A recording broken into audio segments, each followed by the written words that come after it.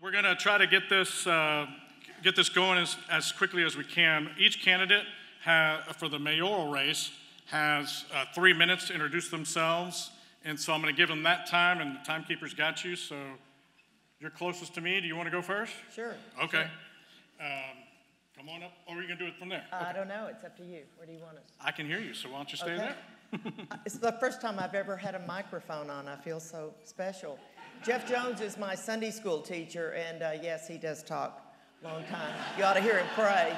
Um, my name is Elsie Thurman, and I just want to thank all of you for being here tonight and uh, taking part in this um, conversation about the future of our city.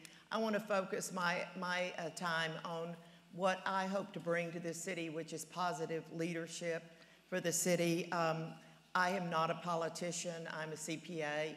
I've spent my career in public accounting, working with large firms that were going public all the way to small mom and pop businesses that needed a succession plan for their business. Anybody that walked through my door knew that I was not going to quit researching until I came up with a plan that was going to help them. And that's the, that's the work ethic that I bring to the city. I've been on the city council for three years. Prior to that, I served as the chairman of the Long Range Planning Committee, a very rewarding activity. Um, we came up with a plan that we presented that was basically what's going to happen for the next five years. Um, I have really enjoyed my time on the council and I have learned a lot. I still have a lot to learn. Our city is well managed. We have um, a very solid budget. We have all kinds of plans for the next five and 10 years in terms of infrastructure, improvements in all of our departments, all 10 of our departments. And we have funding mechanisms in place that do not include increases in your property taxes. As mayor, there are challenges ahead, and we will face those. I believe there's a new emerging role for the mayor. It will be my first priority as mayor, and I believe it's to bring um, back um, the, the sense of community that we have, the symbiotic relationship between the 11 POAs, the city, and the declarant. I believe that all of us want that kind of civility to come back. I will do everything I can to assist in this process. And I believe as the leader of the city, it is not my role, it's not my job, but I believe it's my responsibility to you. I look forward to answering your questions on all kinds of areas that I'm focused on, growth, water management, traffic, um, the ETJ, the extraterritorial jurisdiction, our infrastructure, our budget. I look forward to any of your questions. And again, I thank you for coming and I thank um, everyone who organized this event. It's amazing how many people are here.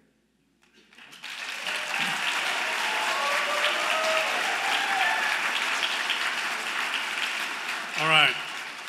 Thank you. And- with that, Mr. Beeman, you may introduce yourself. I appreciate everyone coming tonight and taking your time here. That's why we have such a great city, and when the community gets involved, that's what's going to make our city great. With the talent we have in Horseshoe Bay, there's not a problem that we cannot solve. We're an unbelievable, rich city with a lot of talented people here. It's working together as a community. But my name is Donald Beeman. And for the past two years, I have been proudly serving as the president of the Horseshoe Bay Properties Owners Association. And now I am running for mayor for the city of Horseshoe Bay. I look forward to embracing the challenges and opportunities that lie ahead while protecting the quality of life that we've come to expect while living in Horseshoe Bay. I will lead the city administration with accountability and transparency. I have over 40 years of successful business management experience. During that time, I have worked with federal, state, and local regulatory agencies. I am a problem solver, trusted and respected in our community. Our community needs to prioritize essential city services that are desperately needed. Currently, our water storage system is meeting our needs, Lake Buchanan. However, the delivery system infrastructure is lacking. Many of you, especially in West, have complained of low water pressure. That is due directly to an aging infrastructure. As mayor, it is my obligation to be fair and impartial to all residents of Horseshoe Bay. I'm committed to listening while giving all the opportunity to express differences of opinion with respect. Thank you.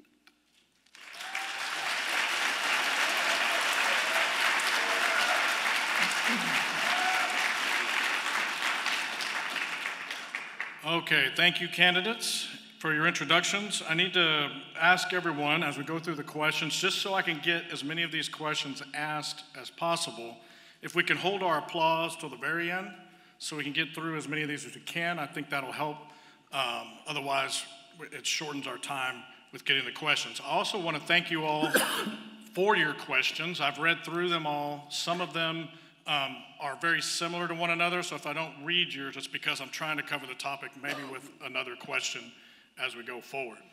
And so uh, the host had a few questions. I'm going to start with those, and I hadn't thought about this until now, but uh, my mom would probably kill me if I didn't say ladies first. I mean, Mr. Beeman, you, is that all right if I let her go first this time? Okay. You get to, you get to respond, obviously, to each of these questions. I want to make sure that's clear. I'm Okay. here to enjoy the evening. All right. So, we will start in, um, for the host questions. Uh, the first one is uh, the Horseshoe Bay story. Uh, what brought you to Horseshoe Bay and what keeps you here? Well, thank you. Uh, what brought me to Horseshoe Bay 22 years ago was uh, just an unbelievable sense of community. The people here are friendly, they're nice. We couldn't believe that they waved to us when we passed them in the street.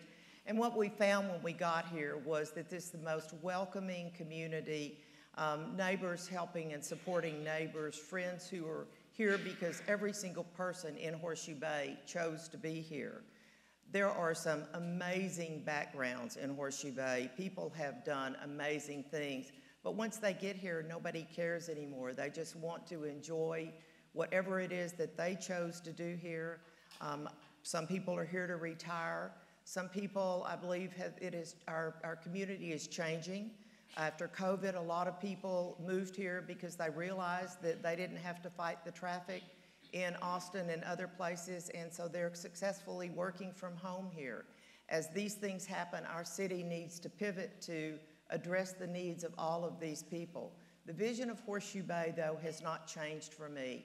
I still get the same feeling of home when I turn on 2147 when we've been on a trip that I got that first, those first few times that I visited here. Um, all of you make it so special for me. We have an amazing, amazing group of friends, and um, we are all so fortunate to live in Horseshoe Bay. As the judge alluded to, uh, there are problems in, that we have to address. There are things that we that that that happen. There are always differences of opinion, but we are so fortunate in this in this community. Um, the the blessings that we have and the um, just the many things that all of us have to celebrate. So Horseshoe Bay is a very special, special place to me. I know it is to all of you as well. All right. Thank you. Mr. Beeman. As far as bringing us into Horseshoe Bay, uh, it was a Valentine's Day trip in 2015 where Debbie and I got a chance to get away for a weekend. And we didn't even have any plans other than coming up because her grandparents used to run and own a, a, hotel on Lake Buchanan. That was our primary reason in getting away. Uh, while we came up, we decided to stop and stay here in Horseshoe Bay and enjoyed it, but we, we really just came for the fact to get away for a weekend. One afternoon, when we were driving early, we just came into Horseshoe Bay and we saw an open house sign, and we weren't even looking as far as a market. And we went in and about three weeks later, I guess, we had bought our first home in March of 2015 in Horseshoe Bay. And it was really a great sanctuary for us to get away from a 60 to 70 hour work week. But we, we were fortunate and, uh, and first bought on the lake, and we loved our lake home, and, and we fell in love with the lake and the, and the natural beauty of the hill country and all the natural beauty of our hiking trails that we have here in Horseshoe Bay. But during that 15 years, there, well now I guess 18 and a half, we've developed such great friendships with so many folks here in Horseshoe Bay. We love our community, and it's, it's, it's a great place to get to live, and we're very fortunate and blessed to be here. So really, in a way, God led us here because we weren't really looking, and just seeing an open house sign, Debbie said, stop, I want to take a look, and Valentine's Day and her trip, well, we stopped and looked at that open house, and three weeks later, we were buying it, and we moved here full-time in 2011. You know, lived in Horseshoe Bay and made that our permanent home since 2011. Thank you. All right, thank you, candidates. We're going to go to the next question. Um, And so it's going to go to Mr. Beeman first. And the second question is, where do you stand supporting the new city hall?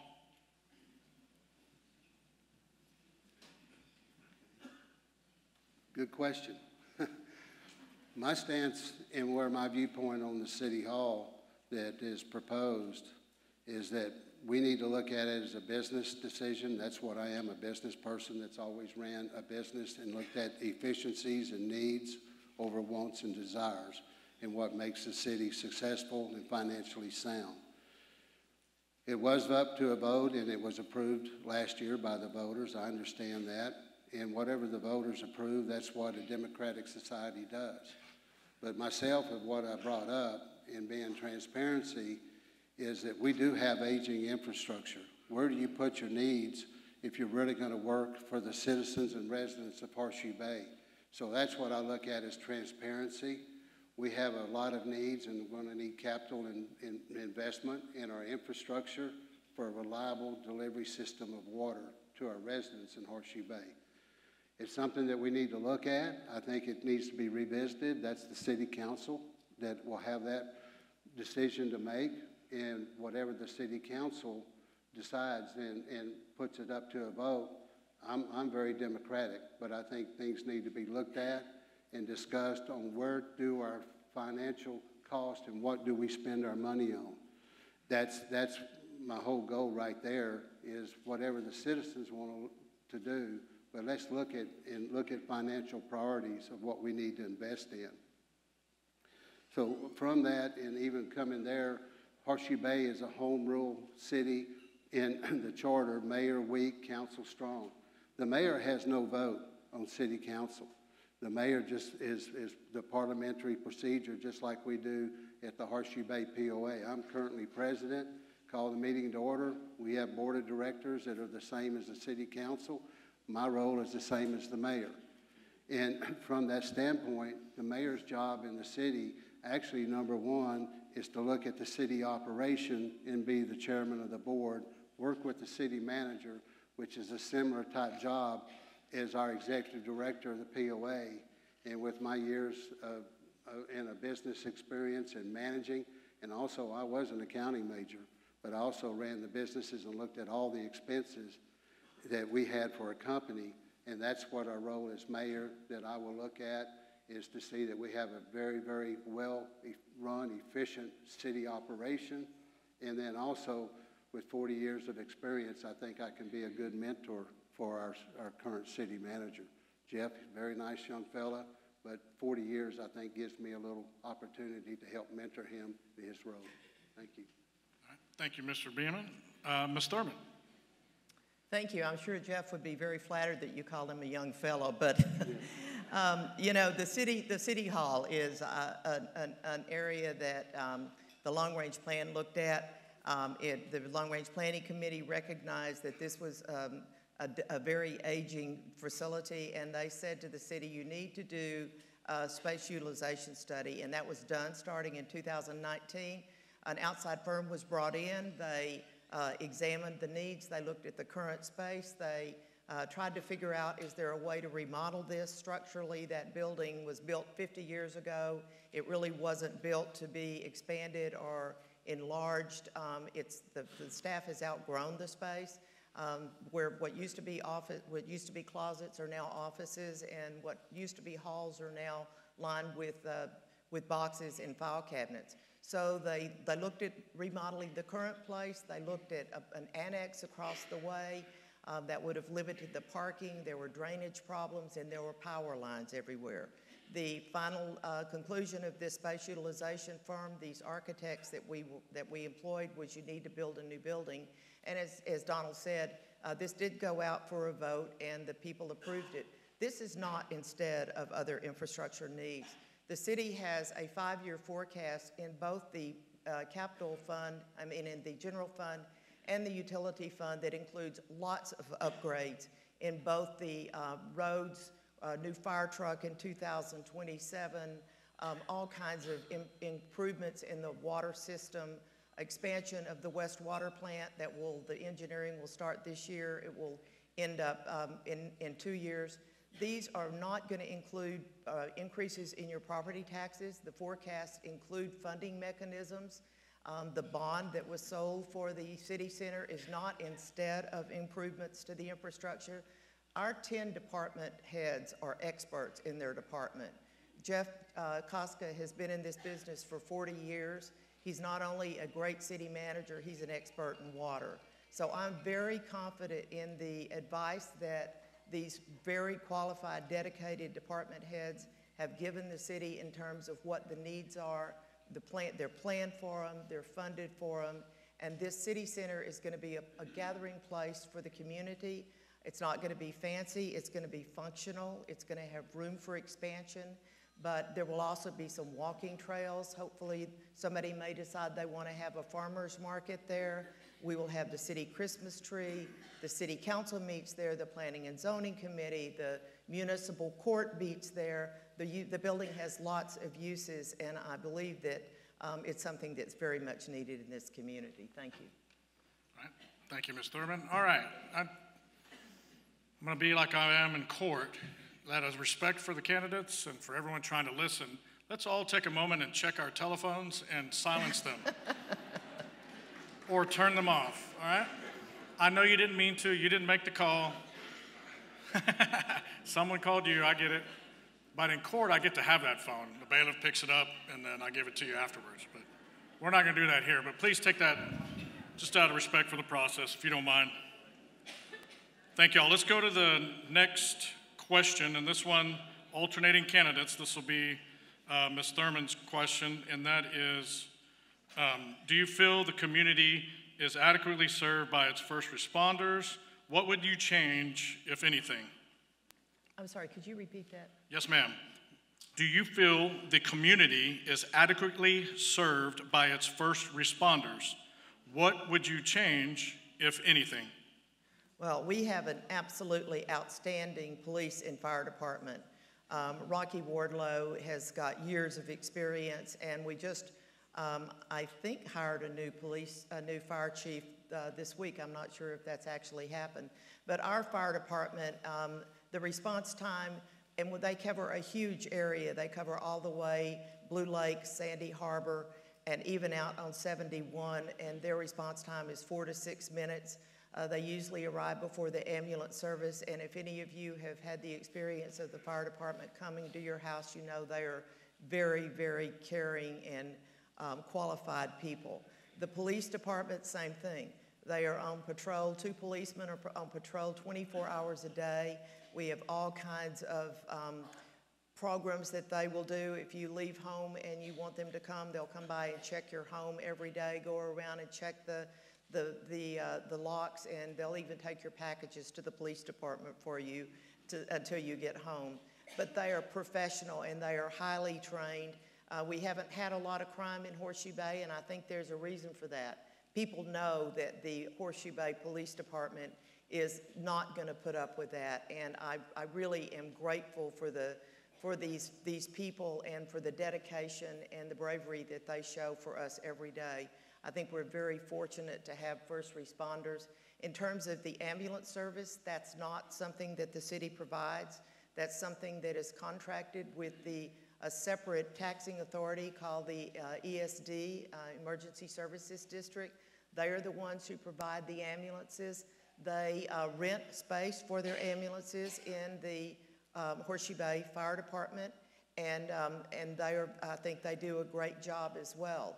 In terms of where there will ever need to be another fire department, um, we have no plans in our five-year plan for an additional fire department. I know that Marble Falls has got plans um, in Legacy Crossing that there might be an additional fire department that they would provide for all the enormous, enormous growth that Marble Falls is experiencing on their south side of town from um, Thunder Rock, where there are probably going to be 2,000 homes, to Gregg Ranch, to Legacy Crossing, where there are going to be at least 1,000 new homes. And um, I believe that they probably will put a new fire station there. And that will actually relieve us because right now we're covering all that uh, through a a mutual aid agreement, but we're not collecting property taxes on it. So hopefully, some of those uh, calls that we're servicing on Highway 71 will be covered by the Marble Falls Fire Department. I'm very proud of our first responders, and you should be too. All right, thank you, Ms. Thurman. Uh, Mr. Mr. Beeman? Thank you. Uh, How do we feel about, you know, being the service of the first responders? One question I always would ask everybody is challenge as a team, how can we get better? If you get complacent, you don't look at how you get better. And I would first start, I met with Johnny Campbell, he's the Executive Director of the Marble Falls Area EMS.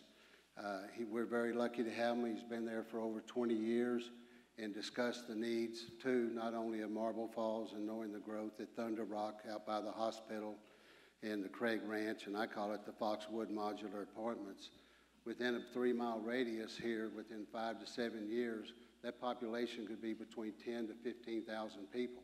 That's a Marble Falls area issue that's definitely gonna require another fire station out there for them to meet minimal response times and, and another EMS unit. But I look at Horseshoe Bay as mayor, my priority is to make sure that our citizens are well protected here in Horseshoe Bay. I would recommend, and speaking too with Johnny Campbell, is the West Fire Station needs some improvement, desperately needed. As we make that improvement, we put the facility there for another EMS unit, which if you live in West at our time off, you know, Mountain Leather, Apache Tears, or Lago Escondido, or Blue Lake that they service, also trails, that improves response time by well over five minutes to 10 minutes. And EMS time, if you're coming from our central unit, which they do a great job, five minutes, you're critical, basically 10 minutes, you're dead. The other important thing we need to do at West is put a squad unit there, because that's normally who gets first responders is our fire department. They're EMS units, another cost saving to our city. If it's just a service call, you can let, let your 911 service know, or when you call the city, you need assistance instead of an EMS unit. Every time an EMS unit is dispatched, we're paying more expense. That's, that's a service that we pay for under a contract. So I would propose, what's better for, our- for our community is also have a squad unit there at the West Fire Station when we rebuild, because that's our first line of safety if we have a medical emergency. And those young fellas do a great job in being paramedics. That'd be a fantastic for me. Rocky Wardlow is a good friend, retired DPS Texas Ranger, and we're very fortunate to have him here in our community. Very fortunate. Uh, We have utilities with Rick, great guy, uh, young fella that's taken over for Jeff, very happy. Uh, Next is a fire chief. We've been real fortunate. The last two, Joe Morris, Brent Batley, have been great. We said we have a new fire chief coming on board. We haven't met, but I would think his expectations is someone that's going to work and do a great job for our city. Thank you. All right, thank you, Mr. Beeman. The next question, oh. We're going to save our applause for end, please. So let's go, this one's going to be first for Mr. Beeman, that both candidates will get a chance to answer, of course. And I'm combining the last host question with one of the audience questions. Um, But there's a lot of debate on city annexation. Um, Where do you stand on that? And then for both candidates, again from the audience, describe the pros and cons with annexing. Okay. Mr. Beeman goes first? No, Uh, that's, yes, ma'am. you got me this time, right? Yes, sir, you're going first. Okay. Thank you. Uh, Annexation is always a hot topic of, of what we have here in Horseshoe Bay and has been. I think when the city council has probably had, it's been people standing outside the door to get in. It's involved annexation issues. One was Monarch Ridge that we annexed a year and a half ago roughly. Uh, That's a 309 acre tract, it's closer down to Scott and White. It has no connection really to our, to our city at all. The only interest is going to be off 71. By annexing Monarch Ridge in response time, it would require a third fire station to service the minimal response times required for that. Marble Falls area, you can always work a co-service agreement with them because they already know that there's going to be another fire station required out there close to the 71, uh, 281 intersection there for minimal response times. So it's, it's always a need. How does it affect our essential services, fire and medical and police? Our, our, currently, our closest fire station to that is our central fire station. West doesn't meet it. It's just as far to time to get there to meet essential services. So that, that is one of our other critical issues. When we look at water and our infrastructure that we have right now, that we already have an aging infrastructure that's going to need a lot of capital improvement. Why are we going to run another pipeline at five to seven miles further out to treat uh, 309 acres with 350 more homes when we already talk about water conservation here? I think we have city limits here, and what the founders saw of Horseshoe Bay is basically in our current city limits of what Horseshoe Bay is, not going seven miles down the road and annexing another 309 acres. Uh, I felt most of the citizens at that time really uh, were not in favor of that annexation. So I look at our city services, first of all. We've got to protect our current residents with our essential services. And that will always be my first priority as mayor, is what is best for our citizens and residents of Horseshoe Bay. That's an obligation the mayor should always have. So, but proper annexation, it, that creates uh, a well uh, need, a good need for our community, then those need to be looked at. It's just not a one, one blanket policy fits all, but you have to look at number one, how does it affect our city with essential services and our infrastructure? So each one will be its own unique case, but in the Monarch Ridge, I still don't see where that made sense for the best part of taking care of us as a community. Thank you. Thank you, Mr. Beeman. Ms. Thurman? Well, um, the issue of annexation is a very, a very difficult one. Personally, I would love to put up a fence at uh, 2147 and not let anybody else come in. I would like to not annex anybody else. But the, there is another thing that we have to consider, and that's what happens if we don't annex. Right now, if we have control over areas in our extraterritorial jurisdiction, if we think people are not moving out 71, nobody has driven to Austin lately. So right now, we have developmental agreements that were put in place when Mayor Jordan was, was the mayor, and this was when the rock crushing discussion was going on. We have agreements with all, almost all of the ranch owners in our ETJ, which is a radius of one mile out from our city. They, uh, once, if they start any development, the city has the right, not the obligation, to annex them. That means we zone them, we limit um, density, we put water restrictions, um, we would collect taxes for the fire protection that we're already providing. If we don't ex- annex them, the, uh, the developmental agreements are no longer valid, and now newly passed House Bill 2038 comes into place. They are allowed to remove themselves from their, our ETJ. They become part of the county. The county has almost no building restrictions. They have no height limitations.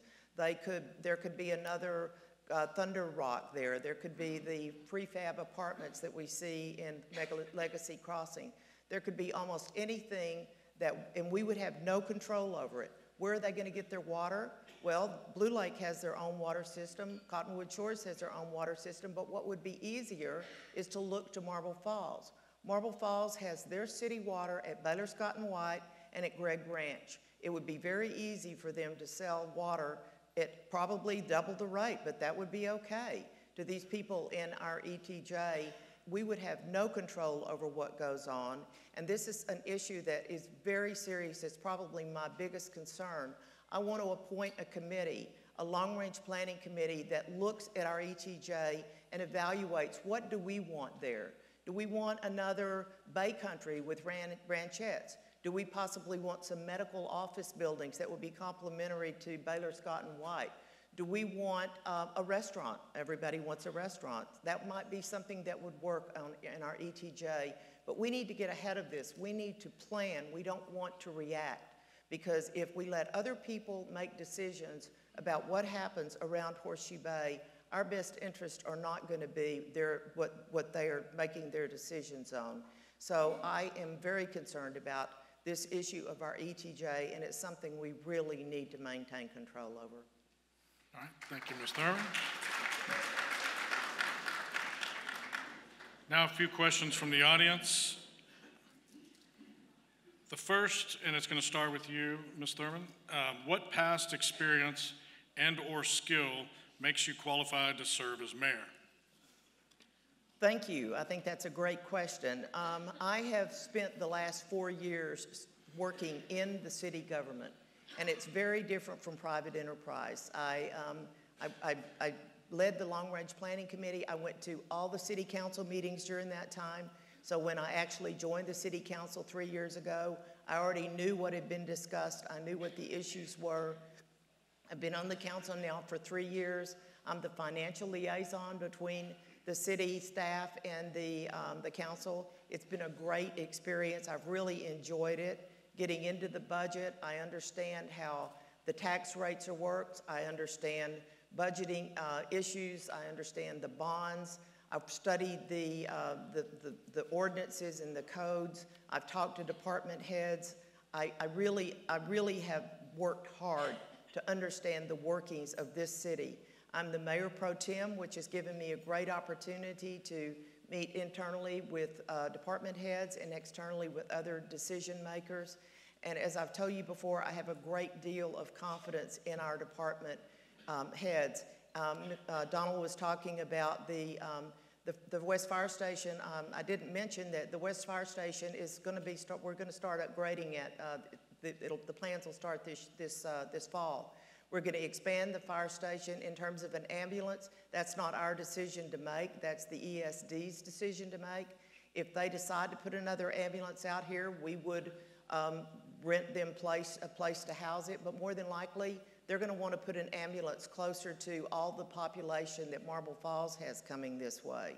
Um, we do have a squad vehicle. We have two squad vehicles that we hope to take delivery on this, uh, maybe this month. Uh, these are going to be fully equipped with all the EMT equipment. Only 5% of the calls that come into the fire department are actually fires. Most of them are medical assistance. So these smaller vehicles will be brush trucks, so they'll have a water tank on them. There'll be less wear and tear on our streets, and um, they'll have they'll actually be able to get to the scenes faster than a fire truck. Fire trucks cost 1.3 million dollars, so anything that we can do that lengthens the life of our fire trucks, this is a good thing to do. So I uh, really am very, very optimistic about all of these city services that we come that we have coming online, and I, I, I have great confidence in our staff. Thank you.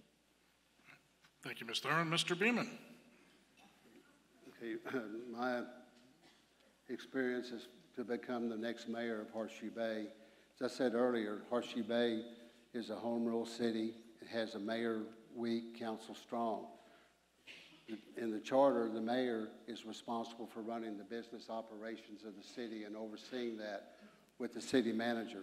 That is exactly my role that I've filled the last two years as president of the POA, with our executive director having the same duties as the city manager. As a mayor, you do not have a vote on city council. You're, you're there as parliamentary procedure. So with my role that I filled in the 40 years of successful business management, I have managed and grown many companies. I've looked at many budgets and set their budgets with that and made sure their financial, that they were soundly run and conservative based. The same as I think we need to have a city operation and the administration side is always to be looked at and be done in a conservative manner that works the best for the residents of the city. We have, and, and one thing that's been mentioned, the tax rate from the city of what we charge, .27 per hundred, has not changed in three years. Well, in three years, our property taxes, which the city is, that's our primary income source, has gone up fifty percent that we all pay. In the last year alone, it went up sixteen percent. To me, that's the funds and the money that the city operates on.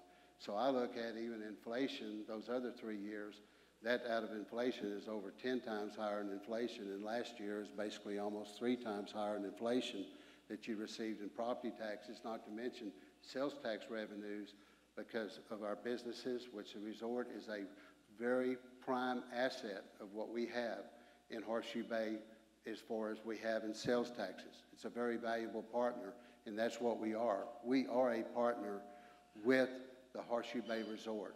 All of us work together between the city that we have, the declarant, and all POAs. It's say, let's check the egos, let's do what's best for our community and work together.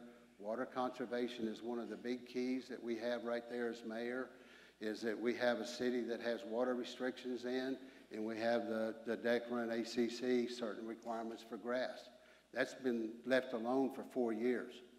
If elected mayor, we will have a monthly meeting of all three of us getting together for our community, doing what is best for our community that makes common sense. Thank you. Right, Thank you, Mr. Beamer. So, now this question, Mr. Beeman, you get to answer first. I'm going to combine it, there's, there's a couple of questions in here, so the, the folks who wrote it, they're going to hear a little bit of both of theirs, but, um, and I don't live here, just for the record, you know that, both of y'all know that. But this person says, I believe I live in a great town. Uh, what do you believe are the three major issues facing the city? And then what do you propose are the solutions?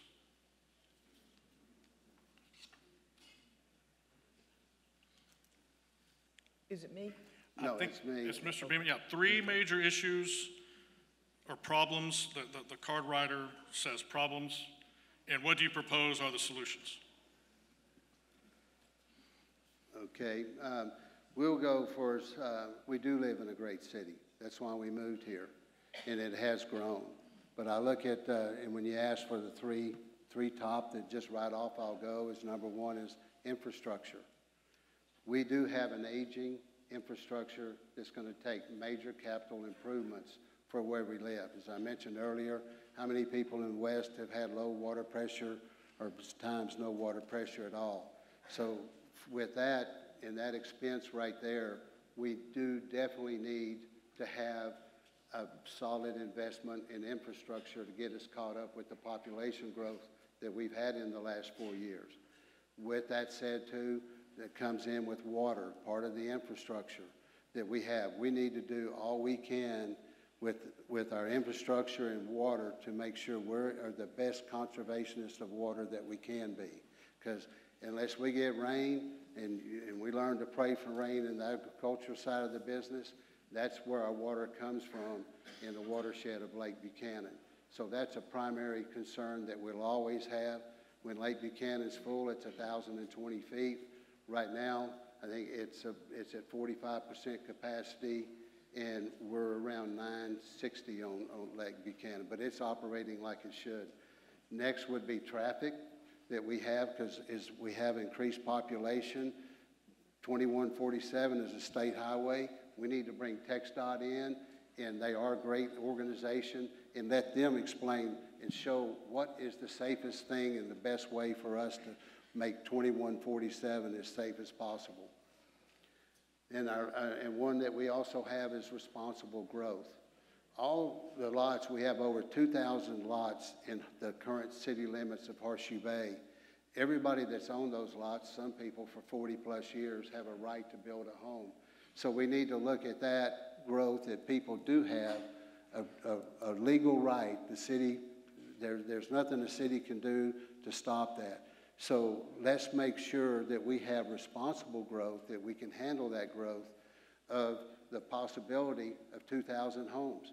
Tuscan Village, which is another great product here in, in Horseshoe Bay, just finished phase two. That's another 100 more lots. Phase three is 100. So that's 200 more homes in Tuscan Village not to mention south, which is primarily mobile homes. We have another 500 more lots up there, and that's the most affordable housing.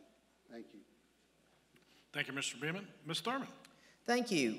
Well, I would, uh, I would say I agree that the three big issues are water, growth, and traffic.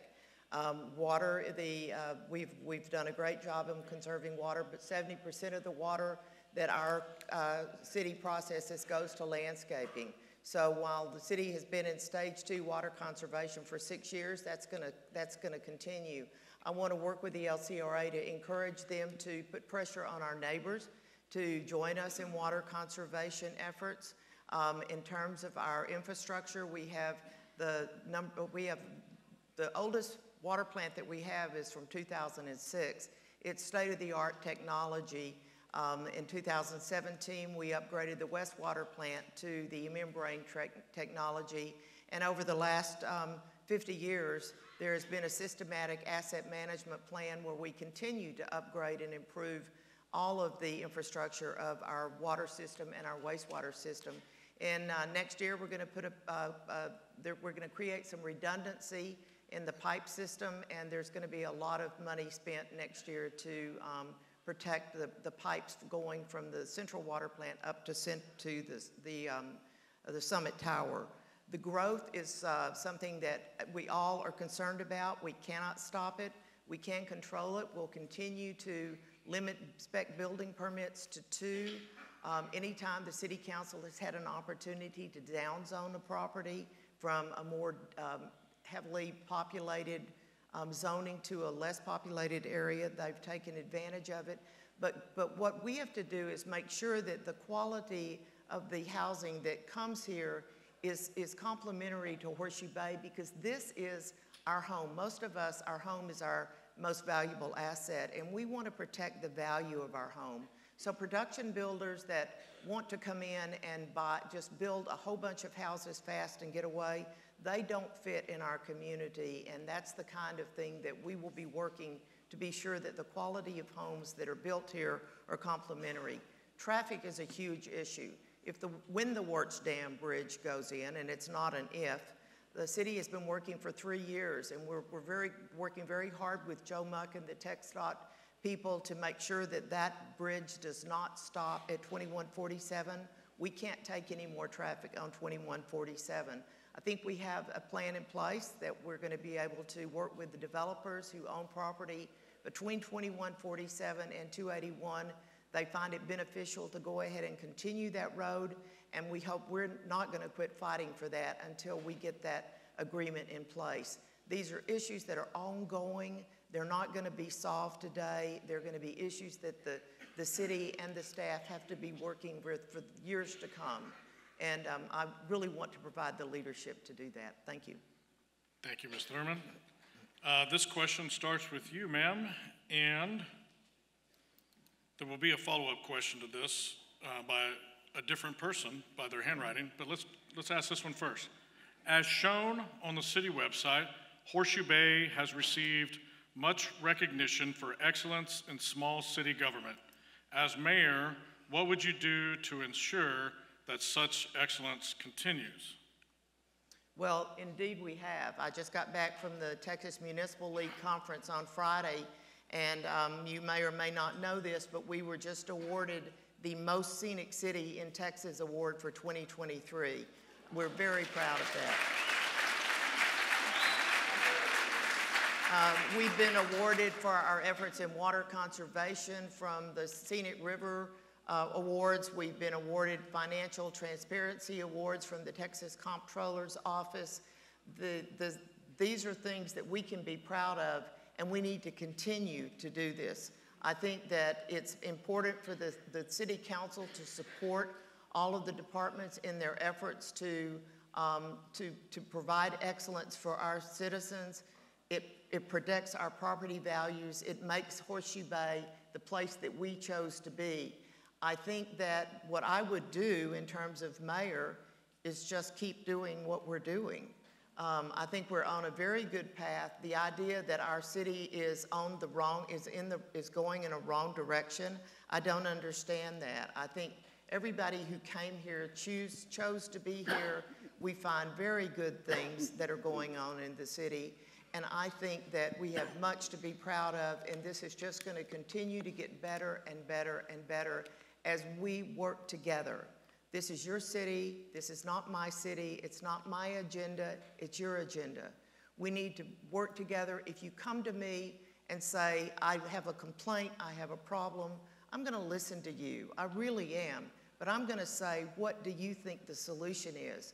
Because you have to be part of the solution. You have to own the city as much as the six volunteer city council and mayors, the, the, the mayor and the five council members are. We're just volunteers, and we're trying to represent your interest, but we will continue to do that and make this city the great place we all came to. Thank you. Thank you, Ms. Thurman. Uh, Mr. Beeman? Okay, uh, recognition of a city. Well, I would look in the first question too, and I know we have a great city, but as I always say, that you don't get complacent, how can we get better? And being as a, as a mayor, our top priority and my priority has been looking and being in charge of the city operations, working with the city manager, is how do we get more efficient with what we do? Look at contracts that we have. What are we overpaying on contracts? That's what I've done my entire life, is with, working with businesses and looking at contracts and making sure we're the most efficient, well-run city from an administrative side. It's always never getting complacent with, you know, our police and fire protection. How do we come better with that and working as a team? Same as EMS, working each one that we work to get the most efficient and the best that we can be by not getting complacent. The scenic city, which is great and it's a ward, but what makes our scenic city is the community and the people living here. You know, we are the ones that set the quality of standard of life for us, not someone in Austin that's a graduate student that sets what a scenic city should be. So we as ourselves and what the city does in the same regard, the POAs to all work our, make sure our community is a, is a place that we live and love and proud of.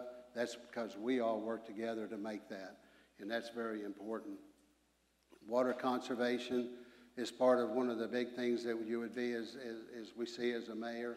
And, and right off, as I say, we have an ACC that has one set of guidelines that they want for landscaping. We have the city that has another regulation, and I agree that we conserve our water. We're on stage two. But at stage two, it, there's X, X amount of heat in the summer that the grass isn't going to make it. We need to look at other options that do allow more natural landscaping and work together.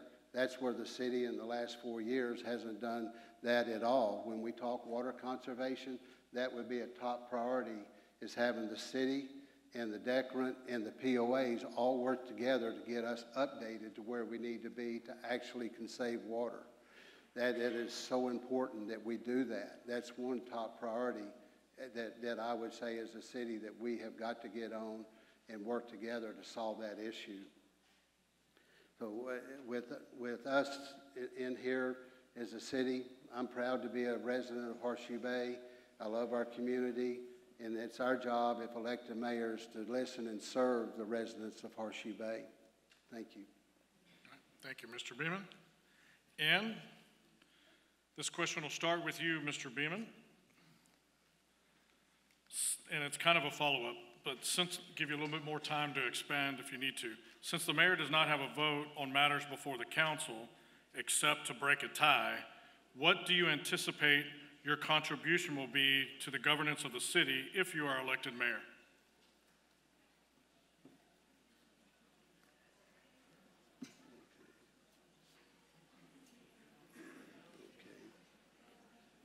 Okay, as we said, the mayor, it's a mayor, mayor weak, council strong. We, with the vote and with the odd number of council members, it's hard to have a tie. I don't know unless someone's not there, uh, to make a vote on an odd number. I, I never see that you're gonna have a, a tie unless someone's not present. And if you're a council member and it's an important issue, I would expect that you would be there to vote. That's your job as a council member and what you were elected to do. The mayor's job is to, to go ahead and run the parliamentary procedure of the, of the, of the monthly council meeting. And as far as influencing, you know, I have my thoughts of what we need to be as a very conservative management of what we have of our, of our city government, and always look at that, look at our essential services, but it's part of working together as a team.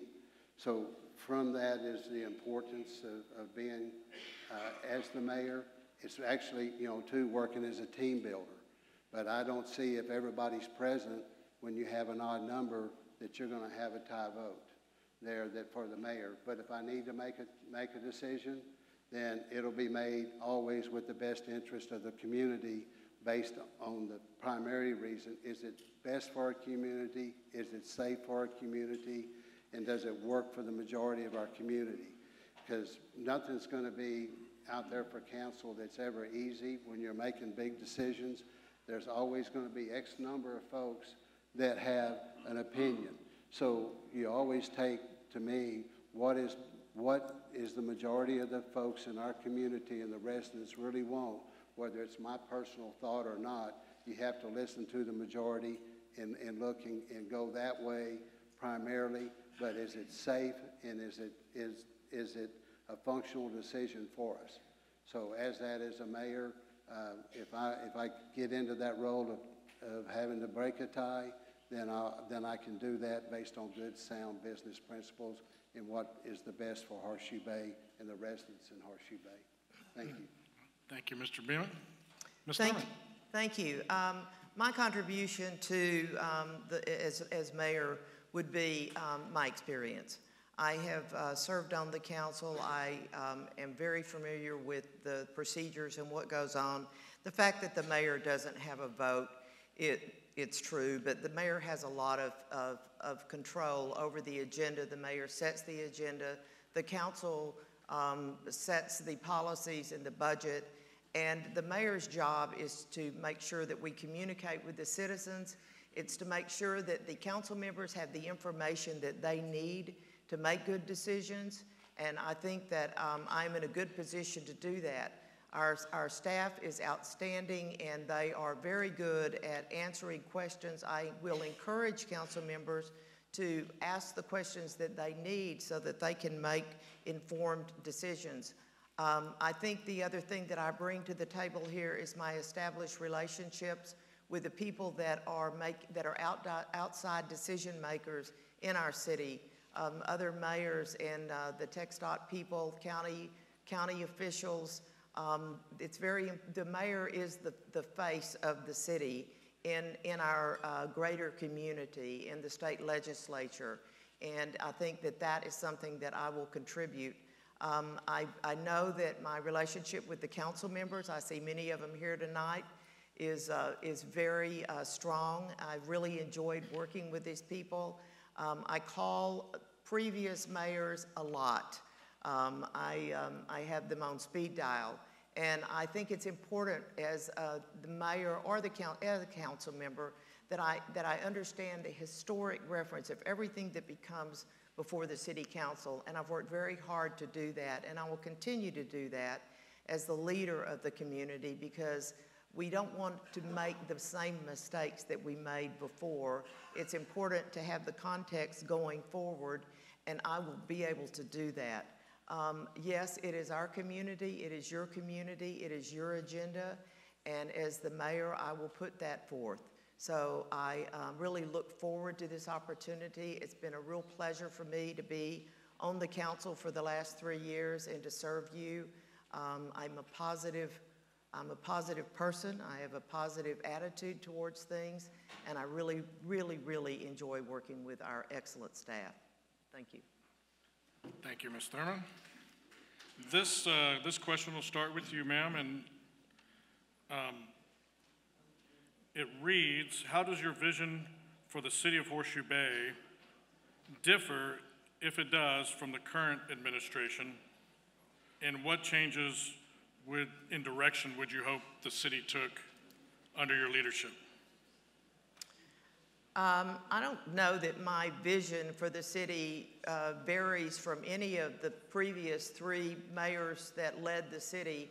Um, all three of them, uh, we've been a city for 18 years, and I think that the direction that our city has gone has just grown and improved, and I believe it will continue to do that. We have new challenges that are coming up, that are coming up that partly have been faced before, but are going to even become more important as the expansion onto 71, uh, Marble Falls expansion comes this way. So what I will continue to do is try to limit growth, try to control growth, try to direct growth so that it's complementary to Horseshoe Bay. Um, I will continue to support our staff. I will continue to um, put forth my very uh, conservative fiscal management um, um, approach to everything. I will continue to focus on the budget.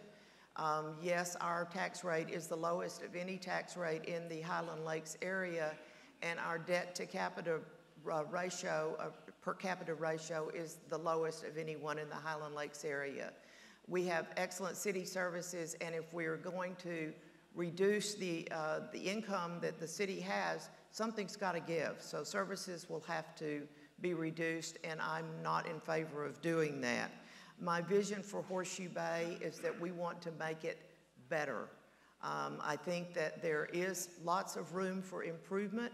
Um, there's not anything that I would say is bad right now, but with growth, there are going to be new challenges. There are going to be new things that we have to face, and we have to just be ready for it. We have to prioritize make strategies for these things before they become problems. We have to plan, I don't want to react. So that would be what I hope we can do is plan for the future and not be in a, a situation where we're reacting to problems.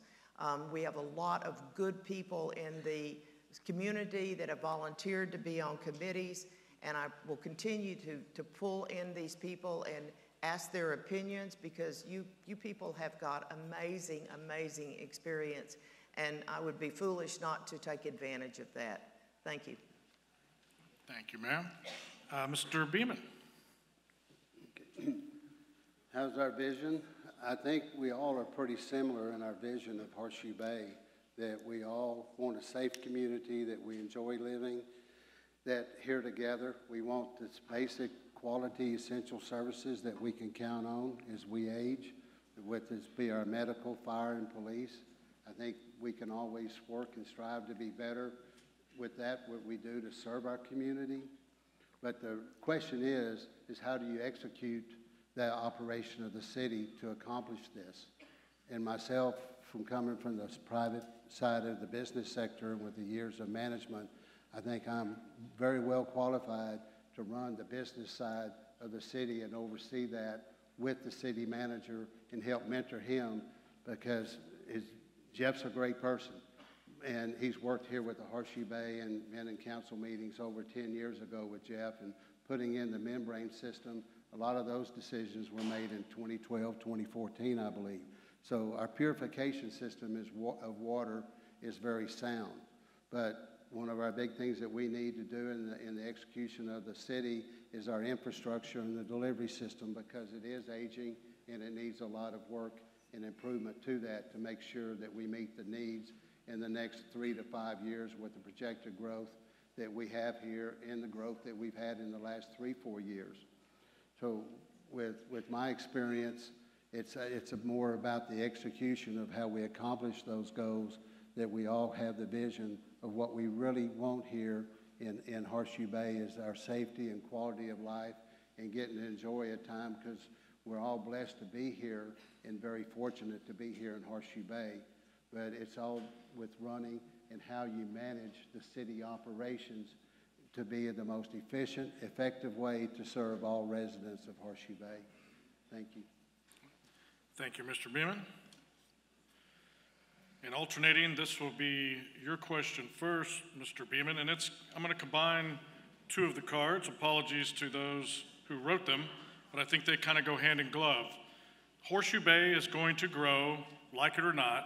How do you plan to control and direct the growth? And then, two, how will you ensure that Horseshoe Bay does not get overdeveloped like Lakeway did?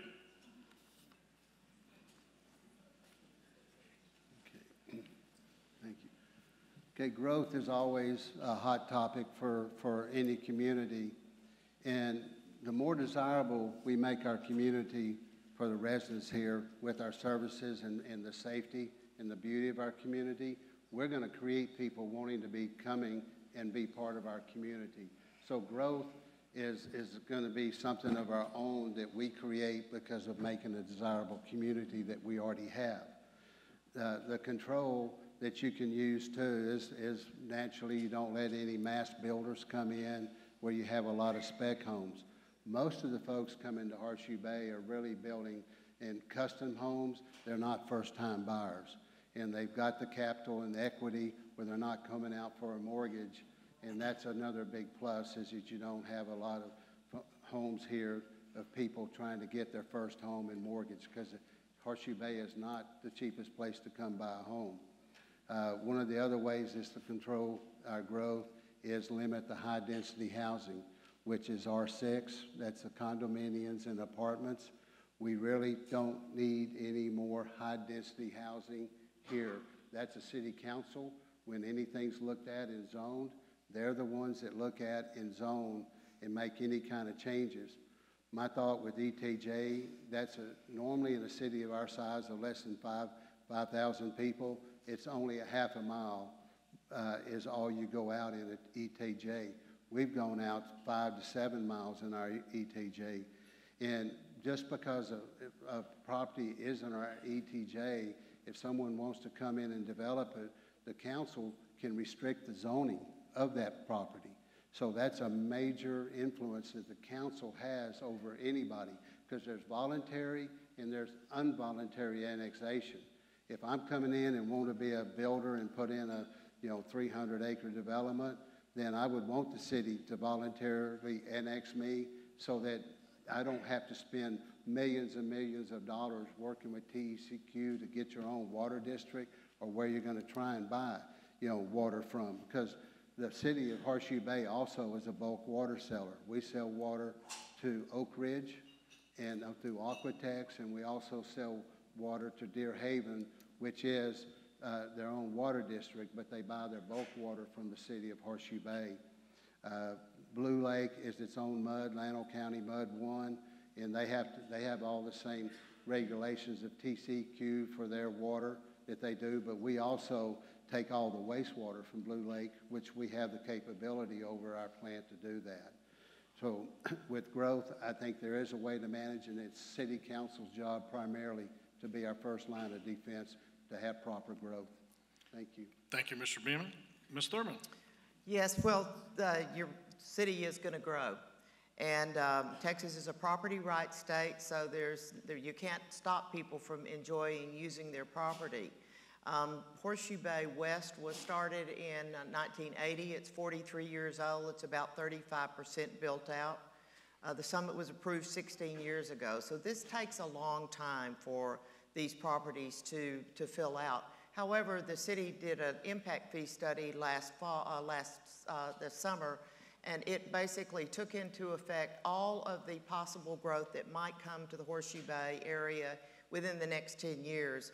It predicted the infrastructure needs, it predicted uh, the water needs, it predicted anything that was going to affect Horseshoe Bay, and we actually voted to increase those impact fees by about 35% this last year. Um, in terms of the voluntary or involuntary annexation, involuntary annexation basically went away with House Bill 2038 because if somebody doesn't want to be annexed into our city, they can just remove themselves from their ETJ. The, uh, the areas that I referred to with the, with the uh, contractual developmental agreements, this is voluntary annexation because they voluntarily signed those agreements. Um, we have direct control over the areas in our ETJ, and I think that's something that we really need to consider. Um, in terms of the growth that we're experiencing in 2022, we had 223 new building permits issued, and this year we've had about 150. Uh, last two years ago, you didn't see any for sale signs. Now, every weekend, you see um, house open signs and for sale signs. So the trend has already slowed down, but it's not something that we need to take for granted. It's something that we need to stay ahead of. Uh, we need to monitor the growth. We need to um, of certainly not going to approve any production builders. That's something that the the Horseshoe Bay has not, uh, is not in favor of. We, we turned down a development out on 71 recently because they wanted to uh, come in and just build a bu, you know, um, I won't even use the name of the company, but a production-style building, and it- that's not complementary to what we need here and what we want here. So my vision for this city is that we will continue to be a high-quality city where the property values that we are um, very uh, concerned about are maintained by limiting the growth and the quality of the, of the construction that comes here. Thank you. Thank you, Ms. Thurman. Got a few more cards left. We're going to go over time, so apologies. And I want to give the candidates some time for closing remarks as well. So we'll do that after these last three questions. So this one will be for Ms. Thurman to answer first. Are you for or against the multi-use trail and why? Well, I'm for it, and uh, the reason is this is something that was asked for in the long-range plan. Uh, 50 years ago, when this city was founded, people did not walk, ride their bikes, ride their golf carts everywhere, but if you go out there right now, you'll see people on golf carts. So it's not safe. Um, the city recognizes that it's not safe, and the city needs to do something about it. We appointed a uh, transportation committee last December, and shortly after the transportation committee, and by the way, these are really, really smart people. Um, uh, there are several of them in this room. Mark Blashock is a former TxDOT employee. Kelly Katz, who's the chairman of the committee, is uh, an engineer uh, with HDR Engineering, and they have looked at um, all the traffic and transportation options. But this shared use path was a, a grant opportunity that came up um, that really fitted what we were trying to do, which is, which is reduce the traffic on the roads and provide safe ways for people to get around the uh, the idea is to have a golf cart or a multi-use trail that basically goes from the Caprock Clubhouse to, Bay, to uh, the Bay Bayside Grocery, uh, from um, uh, Lucy Lane over to the Yacht Club facilities. Um, this $10 million grant, we'll find out in sometime this month whether we got it. I don't know that we will, but if we don't, we're not going to use taxpayer dollars for this, this, for this project. However, this grant comes around every two years. So what we'll do is we will have a debriefing with TxDOT and we'll say what was not good about the grant, what, what could we have done to, to do better, and we'll go for it again um, in two years. Uh, this is something that the citizens have asked for. Uh, last year, we put a, um, a, a walking trail or a bike, a, bike trail along Horseshoe Bay Boulevard. I was there this morning, I walked on it. People walk there, they ride their golf carts there, the, the, the cars respect it. Um, our budget this year includes putting a similar trail on Bay West Boulevard, but that's not enough. We need to do more in terms of providing safe traffic um, transmission around our town so that people who are walking, who are going on their golf carts, don't have to worry about the workmen um, who are on their cell phones and driving through our community too fast. Our police department is going to continue to enforce the speed limits, but I do support the shared use path and the transportation committee, who will be making their report to the city council probably in November. Thank you, ma'am. Mr. Beeman? Okay, for or against? Well, with a shared use path, and as we look at the shared use path, of anything that improves the quality of life in our city of Horseshoe Bay for our residents in the city of Horseshoe Bay, I completely support it. Without fail, without doubt, if it improves the quality of life of our residents and gives us more options, I'm going to be always 100% for it. That is basically a, a very easy, easy answer. Now, when you come to these things and look at decisions, is safety.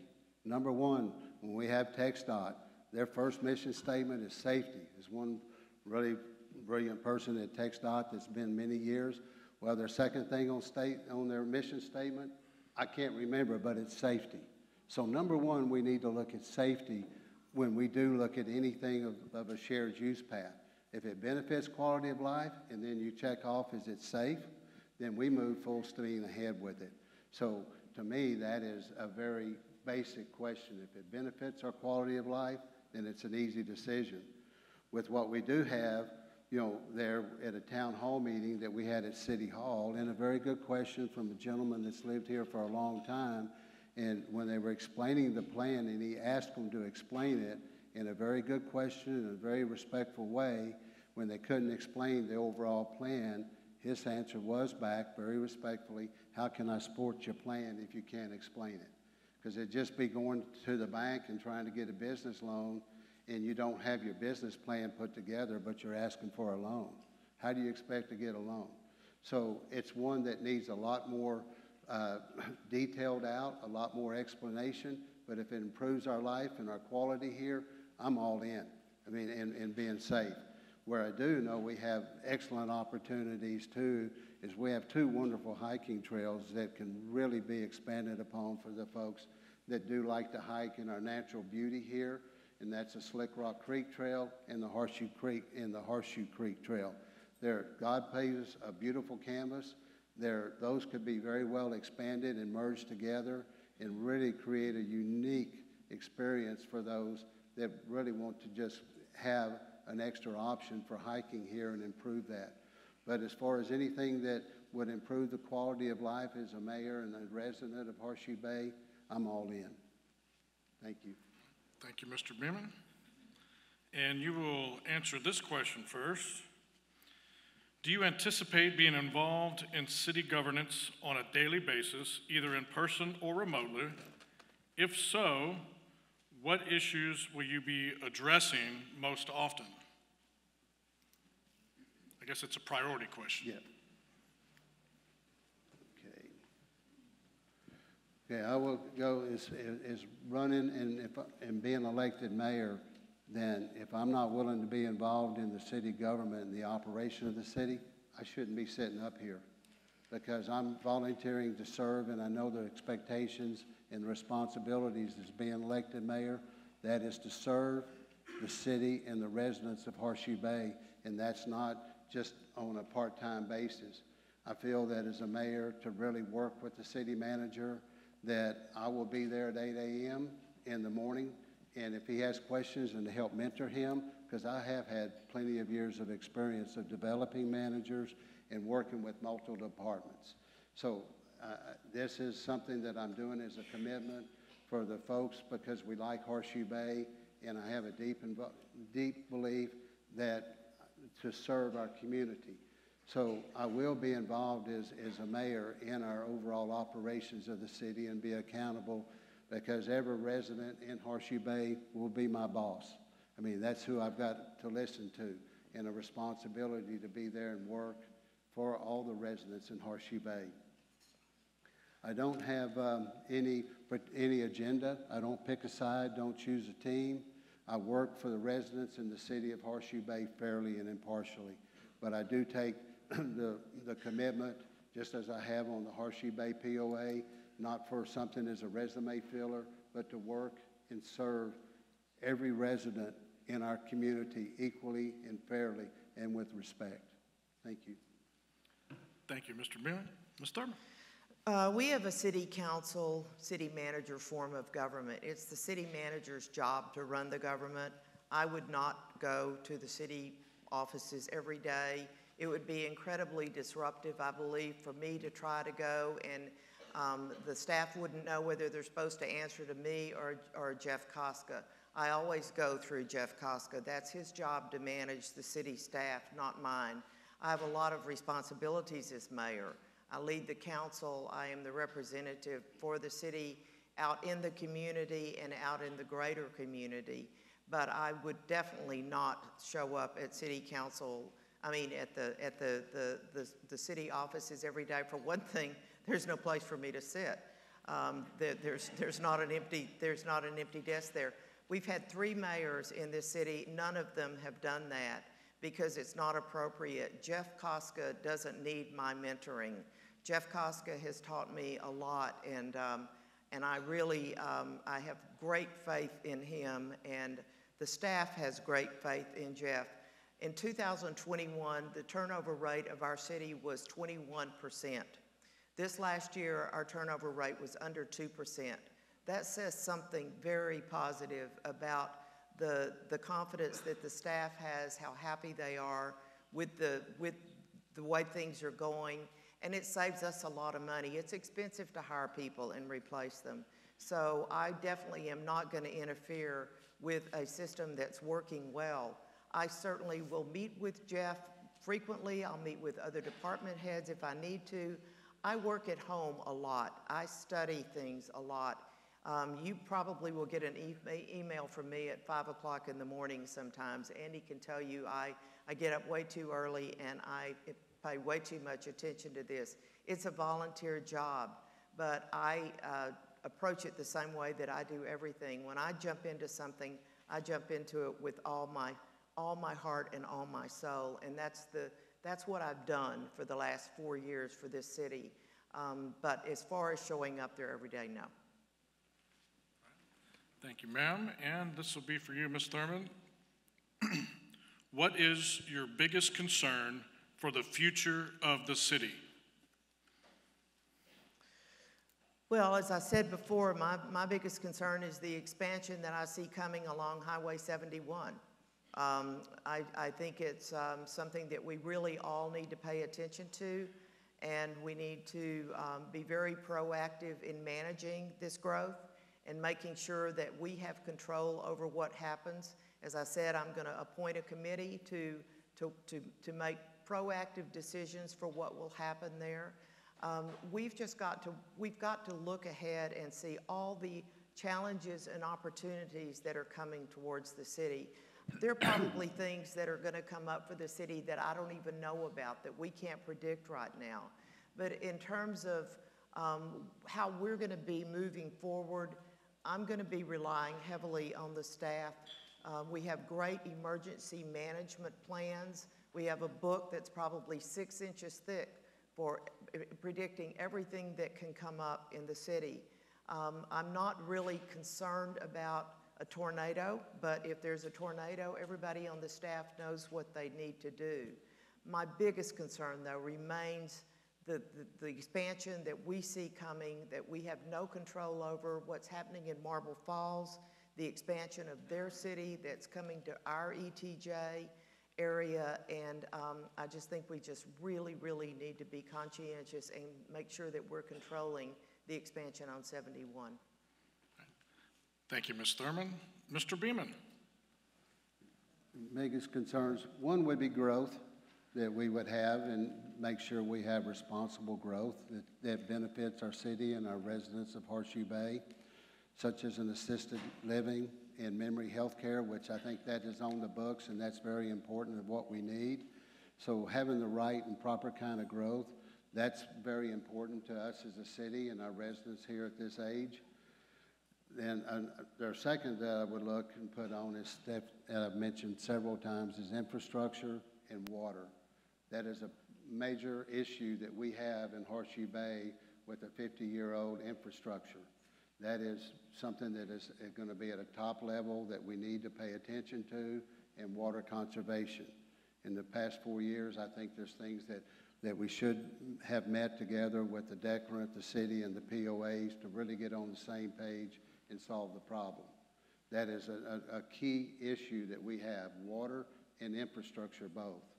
Uh, we have also another key factor we say is, is safety and traffic. They go hand in hand.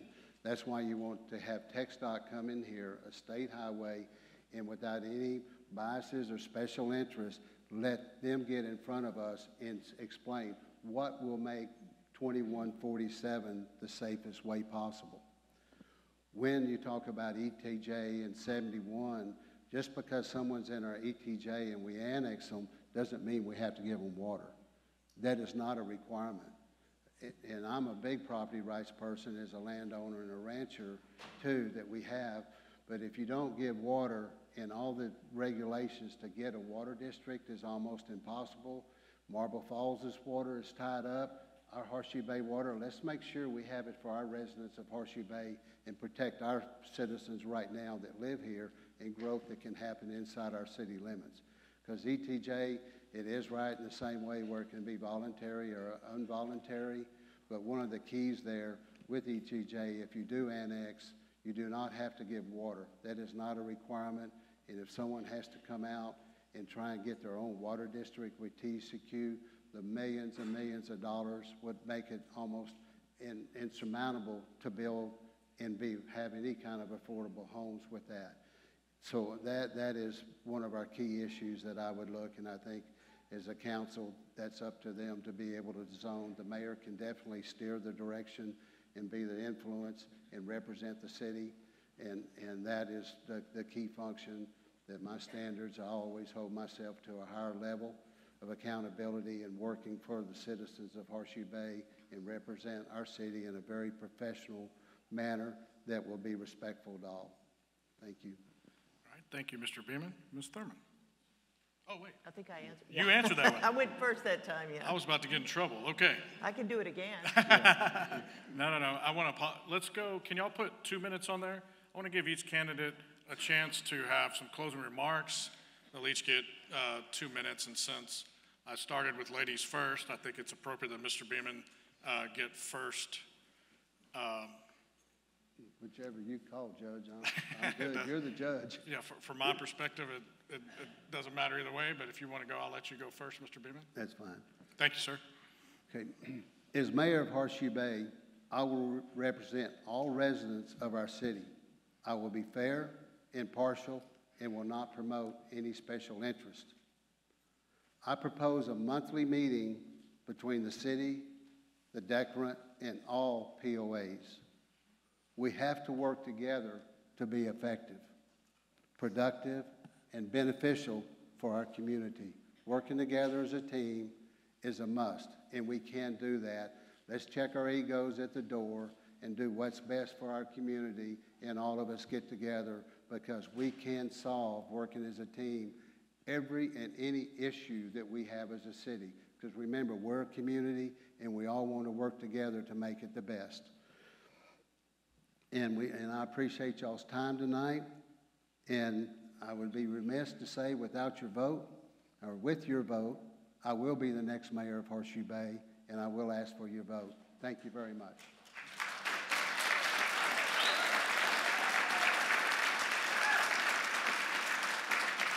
Thank you, Mr. Beeman. And Ms. Thurman?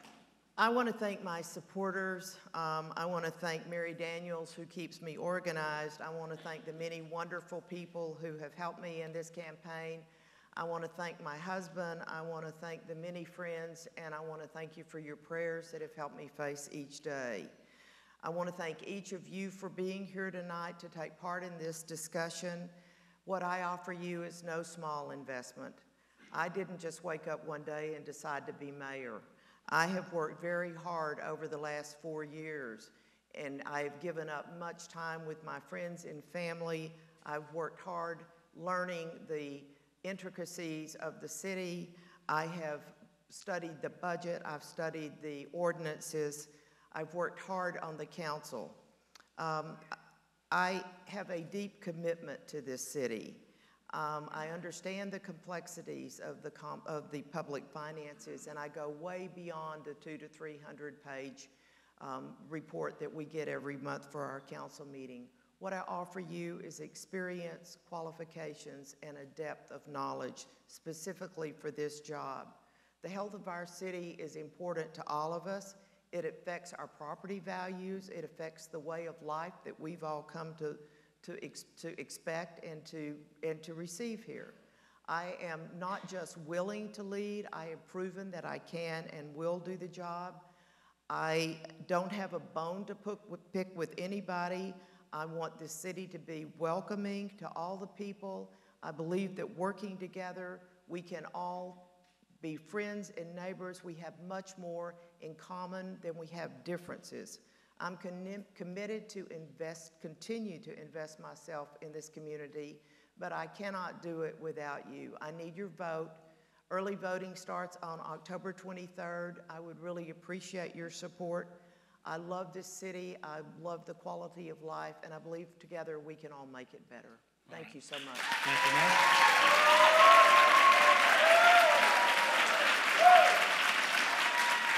All right, I want to, I want to commend and congratulate I want to commend and con- congratulate both candidates. It is not easy to run for public office. It's not easy to put yourself out there. It's not only a brave thing.